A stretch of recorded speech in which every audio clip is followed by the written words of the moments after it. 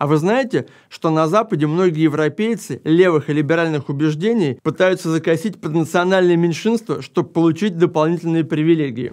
Вообще, это, конечно, интересная история, потому что многие из вас знают, что в Азии или в Африке популярно косить под белых. Например, если до пандемии вы бывали в Таиланде, наверняка в местных магазинах увидели целые полки, которые просто уставлены отбеливающими средствами. Потому что тайцы выше ростом и кожа их светлее, чем у окружающих их народов, например, берманцев или кхмеров. И у тайских красавиц считается, что чем белее кожа, тем это красивее. Похожая ситуация в Индии, потому что Дравиды, покоренные ариями негроидное население, обычно представляют собой низшие касты. Чем выше каста, тем светлее кожа, поэтому люди, чтобы их считали высшей кастой, тоже стараются ее отбеливать. Похожая ситуация есть в Африке, где местные модницы отбеливают себе кожу и выпрямляют курчавые волосы. С этим, кстати, борются многие африканские националисты, но пока не могут это побороть. Сегодня все наоборот в Европе, потому что сейчас все борются с белыми привилегиями, и многие активисты, наоборот, стараются найти у себя каких-нибудь африканских дедушек или прадедушек с тем, чтобы воспользоваться привилегиями нацменьшинств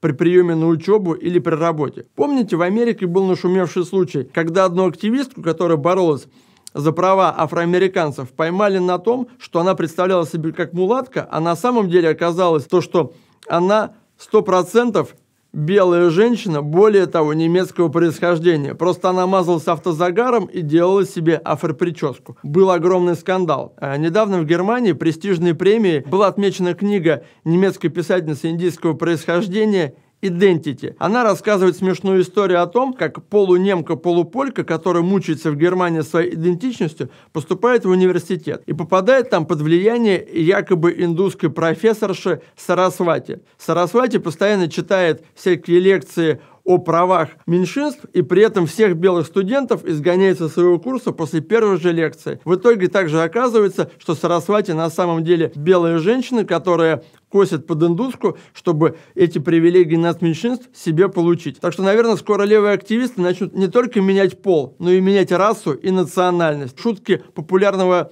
блогера Кэт Буйками о том, что он транснегр, уже скоро будут не совсем шуткой.